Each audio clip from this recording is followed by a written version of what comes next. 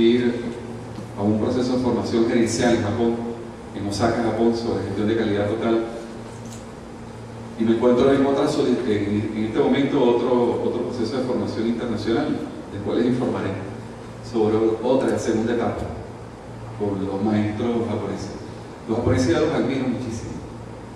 Una alumna en el salón de clase me dice, profesor, ¿usted cómo se siente identificado con los japoneses? Es que los japoneses marcaron mi vida. Marcaron. Tuve la oportunidad de capacitarme, asistir y oír esa excelente experiencia. Pero es un país que venía una posguerra de dos bombas atómicas que destrozaron, paralizaron. Y se generó un cambio en la forma de ver la administración de las empresas, de ver el país. Un país que si lo podemos ver comparado con nuestro país, Venezuela, no tiene recursos petroleros, no tiene recursos mineros. Lo que hay es tierra y agua. Y tiembla. Y tiembla de lo bueno. La, la oportunidad que estuve no tembló ninguna vez.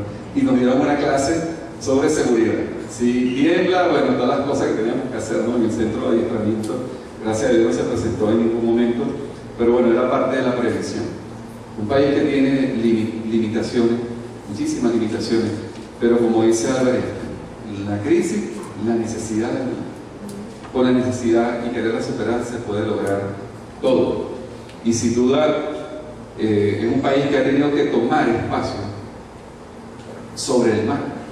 Siempre lo digo, siempre lo digo, lo repito, en, clase, en, en, en cursos, en las empresas, siempre llevo el mensaje en la radio, cuando voy a la entrevista en la televisión, dejando siempre el mensaje tenemos todas las condiciones, como nos comentó, yo me llevé varias, varias eh, mapas de acá de, la región guayana eh, y con algunas piedras de acá de la región me lo, me lo entregó las Relaciones Públicas de Belum, de Sidor, de CBG, y me llevé todos esos regalos a, Japón.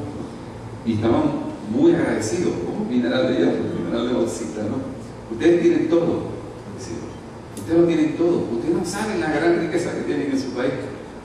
Ustedes caminan sobre todas las riquezas que, necesitamos nosotros. Y en una, el, grupo latino que asistimos al, grupo, al curso, ¿cuál es la diferencia entre Latinoamérica y, Japón? ¿Cuál es la diferencia? Decía, conocimiento, conocimiento, educación para la ciencia y la tecnología y educación para, para generar valores y lograr generar orgullo a sus trabajadores y por supuesto a la sociedad y a todos los que dependen directa e indirectamente. Es decir, hay que querernos, ellos nos hablan muchísimo. Y los trabajadores en tres empresas que visitamos sobre esta experiencia en Japón, que me marcó muchísimo, sobre la percepción de la calidad y luego de la formación, lo que era la calidad y la innovación. Calidad e innovación. No solamente es la calidad del producto, que es tener mucho cuidado con los eslogans de calidad la calidad del producto, la calidad del servicio, la calidad de las instalaciones, la, el orden la limpieza es muy importante. Pero lo más importante de esto es la calidad personal, desde el presidente de la empresa, su director y sus trabajadores. Yo creo que es donde está, ese es el éxito, calidad personal. Porque los documentos, procedimientos, descripciones de cargos, funciones, bueno, eso lo, lo es válido, hay que tenerlo pero hay que crear calidad personal.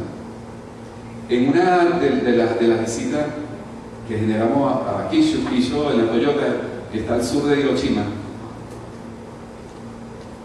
bueno, wow, es impresionante ver esa organización produciendo mil vehículos por día. La precisión, el gusto a tiempo, todas las teorías japonesas verlas en, en y nos contaron una historia sobre la General Motors, que está escrito en los libros. Y nos comentaban en esa historia, en Kishu, en la Toyota, que la General Motors fue a, a, Japón a ver qué es lo que está pasando, porque ahora en la década de los 80 eran los, vehículos y la tecnología, los productos japoneses que estaban invadiendo, desde el mejor término, tomando el control de la economía norteamericana a través de la preferencia de sus consumidores. Comenzó un concepto de calidad un concepto de calidad que dice que es dar en sintonía con la satisfacción del, del cliente.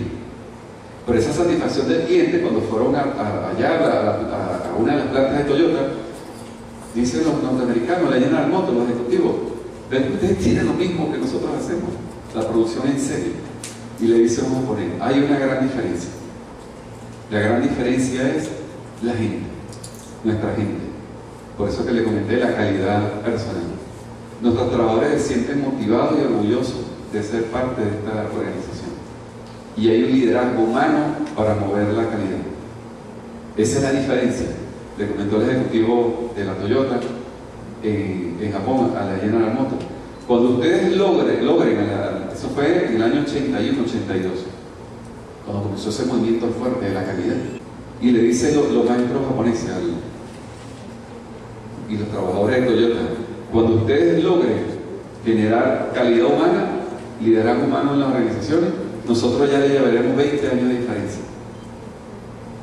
Es decir, que tenía que pasar 20 años de aprendizaje para poder nivelar y a lo mejor ellos iban a estar más adelante. Es interesante realmente sobre estos temas, pero hay una reflexión. Conocimiento con disciplina.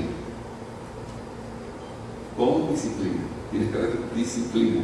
Una de las cosas también de la diferencia en, los japoneses, sin duda se lo digo, es, hay tres cosas que, es interesante de compartir con ustedes.